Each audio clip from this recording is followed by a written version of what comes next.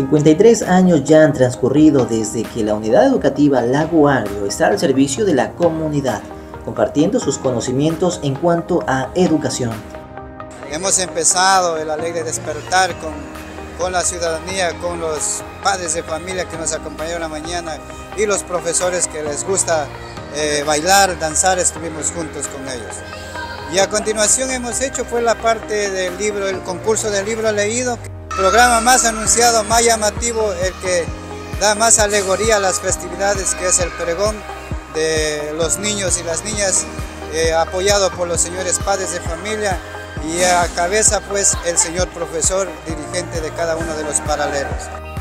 De tal manera que se han organizado varias actividades, iniciando con el pregón de fiestas, encuentros deportivos y juegos infantiles para los más pequeños.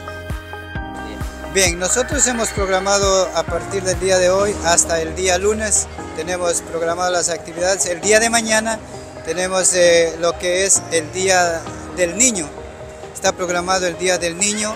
Hay eh, eh, la fecha cívica referente al Día del Niño y la fecha cívica de, de, la institución, que es de la escuelita, la historia de la escuela. Y el día sábado tenemos el Festival de Platos Típicos, la gastronomía vengan a disfrutar, a deleitarse de esos sabores que preparan los padres de familia y madres de familia de nuestra escuela. Eh, quedan cordialmente invitados a la culta ciudadanía para que vengan a festejar con nosotros la programación establecida por la escuelita, que vengan.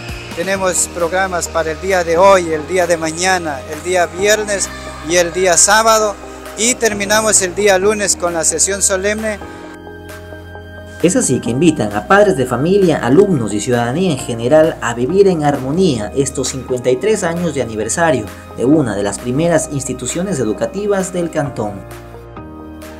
Con imágenes de Alexis Galarza, Héctor Moncayo, TVNet Noticias.